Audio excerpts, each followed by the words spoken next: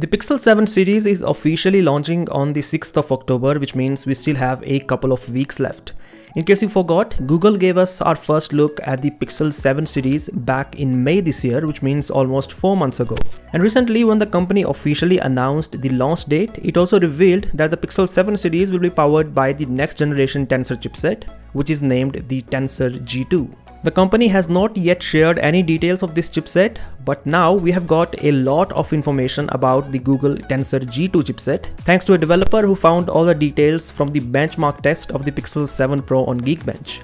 First thing first, the Google Tensor G2 chipset is having the same CPU configuration as the last year's Tensor chip. This means there is an octa-core CPU with two Cortex X1 cores, two Cortex A76 cores and four Cortex A55 cores. So Google is not going to use the latest ARM cores which are there in the latest Qualcomm or MediaTek chipsets. The frequency of some cores is upgraded this time, so the Cortex X1 goes up to 2.85 GHz, whereas the Cortex A76 up to 2.35 GHz. Also the Tensor G2 is fabricated on the 4nm process and all of this is the reason why the multi-core score on Geekbench is almost 10% higher than the previous generation. The single core score however remains almost the same as last year.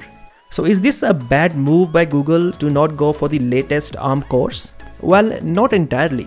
That is because the latest ARM cores focus mainly on the performance and not so much on the power efficiency. So by using the older ARM cores, Google can ensure a perfect balance of the performance and power efficiency. And on top of that, a 4nm process means that there is more thermal headroom and efficiency to run at higher frequencies. So it is also possible that the power usage of this new chipset is much better than the previous generation. Now let's talk about the big upgrade that the Tensor G2 has gotten over the last year's Tensor. The GPU is upgraded from the Mali G78 to the Mali G710. This is the same GPU that is there in the MediaTek Dimensity 9000 chipset.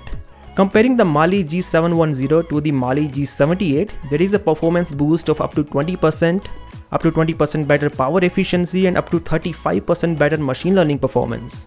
And because Google runs a majority of its camera pipeline on the GPU, that means the camera performance and processing is definitely going to be much better and faster. The last year's Tensor chipset was already having best-in-class computational photography, so we can just imagine how good the Tensor G2 is with these upgrades. Finally, the Tensor G2 chipset also comes with a new modem. So it is the Samsung's Exynos 5300, which should improve the connectivity because that was one of the issues with the Pixel 6 series. Anyways, are you excited for the Pixel 7 series? Do let me know your thoughts in the comment section below and as always, I'll catch you in the next one.